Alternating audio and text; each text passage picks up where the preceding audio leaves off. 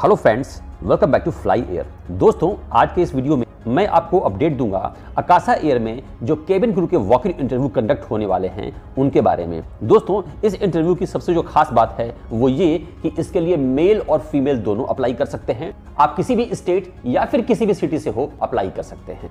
और उससे भी अच्छी बात यहाँ पर यह है कि इसमें जो एज का बार है, वो है थर्टी नाइन ईयर्स थोड़े से टर्म्स एंड कंडीशन हैं जिसके रिगार्डिंग मैं वीडियो में आगे बात करूँगा। सो फ्रेंड्स चैनल को लाइक सब्सक्राइब और शेयर ज़रूर कर लीजिएगा और सबसे खास बात जॉब ढूँढने का एक मोबाइल एप्लीकेशन आपको रिकमेंड करता हूँ। लिंक उसका वीडियो के डिस्क्रिप्शन में है। So friends Akasa air hire कर रही है एक्सपीरियंस्ड कैबिन क्रू ये जो वैकेंसी है, वहाँ पर आपको एक्सपीरियंस होना मैंडेटरी है। आप इंडियन नेशनल होने चाहिए valid passport PAN card, Aadhaar card mandatory है। फीमेल के लिए मिनिमम हाइट 157 सेंटीमीटर और मेल के लिए मिनिमम हाइट 170 सेंटीमीटर ज़रूरी है।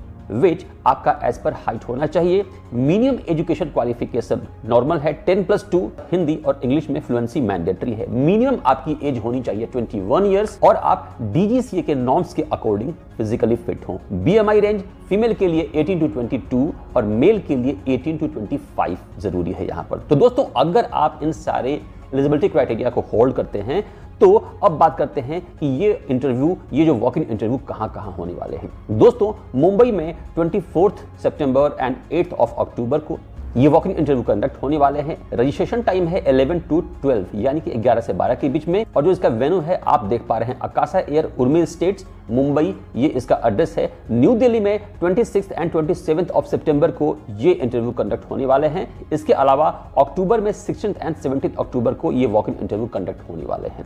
यहाँ भी जो रजिस्ट्रेशन का टाइम है, वो मॉर्निंग 11 टू 12 के बीच में है। वेन्यू जो है, वो है आकाशा एयर लर्निंग अकेडमी उद्योग विहार, गुड़गांव में। यहाँ पर एक बार ध्यान देने की है दोस्तों, कि जब आप जाएँगे इंटरव्यू के लिए तो आप बिल्कुल वेल ग्रूम्ड होने चाहिए। वेस्टर्न फॉर्मल्स में और जो डॉक्यूमेंट उस टाइम आपको रिक्वायर्ड है, सबसे जो मैंडेट वो है two passport size photograph documents required में आपके अपडेटेड सीवी यानी रिज्यूम की हार्ड कॉपी जो भी आपका एजुकेशन है, चाहे वो टेंथ ट्वेल्थ ग्रेजुएशन आपने जो भी कर रखा है, उनकी हार्ड कॉपी आप लेकर ज़रूर जाइएगा।